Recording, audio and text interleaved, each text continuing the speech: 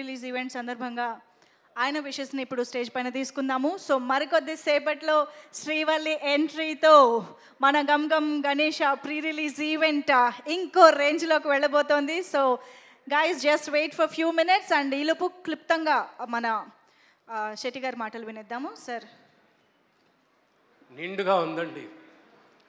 బాలీవుడ్లో ఇలాంటి ఈవెంట్స్ కన్నింటి కూడా అటెండ్ అయ్యాను ఇంతకాలంగా. ఈ రోజున మొట్టమొదటిసారి ఇక్కడ అటెండ్ అవుతున్నాను. చాలా సంతోషంగా ఉంది.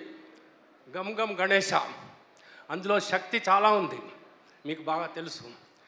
గమ్ గమ్ గణేశాలో మూడు జీలు ఉన్నాయి. అంటే తొమ్మిది అన్నమాట. అంటే సక్సెస్. సక్సెస్ అనేది పేరులోనే ఉంది.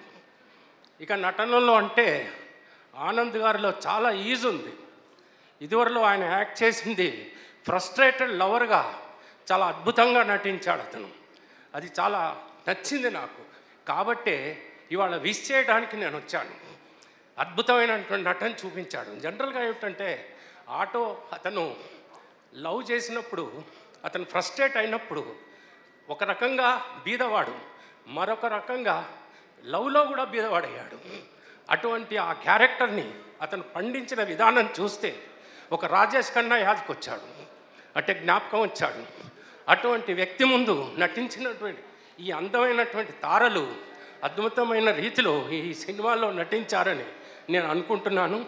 అయితే ఇది ఖచ్చితంగా చిన్నపిల్లలకి మాత్రం నచ్చుతుంది. కారణం ఏమిటంటే గతంలో ఈ యొక్క ఎలిఫెంట్స్ సినిమాలన్నీ కూడా సక్సెస్ అయినాయి. ఇక ఇవాళ వీళ్ళు ఏకంగా ఆ గణపతినే పట్టుకున్నారు. ఇక ఆయనను పట్టుకున్నాక విఘ్నాలు ఎక్కడుంటాయి అంతా జయమే. అద్భుతమే. కాబట్టి ప్రజలందరూ కూడా చూస్తారు ఆనందిస్తారు. వాళ్ళకు కావాల్సినటువంటి డబ్బులు కూడా అందుతాయి.